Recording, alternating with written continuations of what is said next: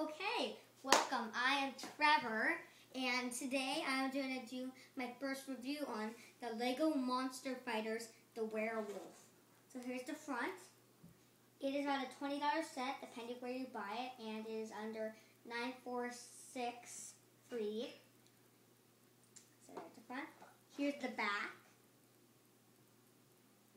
Okay, let's start on the characters. So right here we have the werewolf. I love the details on him, like the hair, legs. So here's the back. And this is really awesome. The claws glow in the dark. So these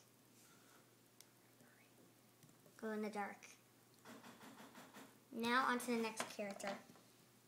We have Major Quentin Steele. Love the detail on this guy too, because he has that little bullet slot and he has that little metal eye thing right there. Love the outfit, the pockets. And my favorite part is the gun. So now let's move on to the items you get in the set. So today in the set you get Major Quentin Steele's car. Has a little pistols at the engine on the side.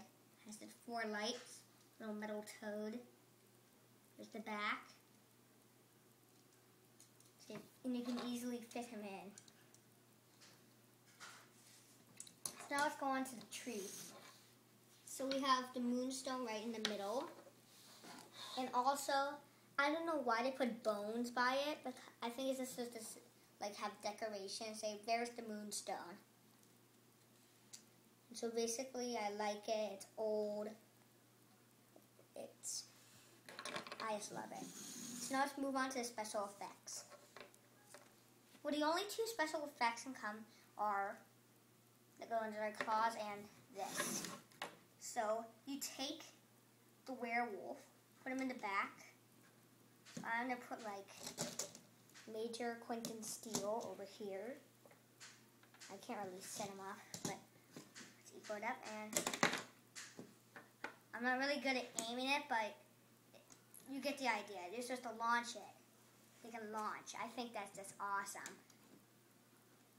So I just love this set. Um, I think I really recommend it to age is 7 and 14 as said on usually most of the boxes. Well, I hope you enjoy the set as much as I do.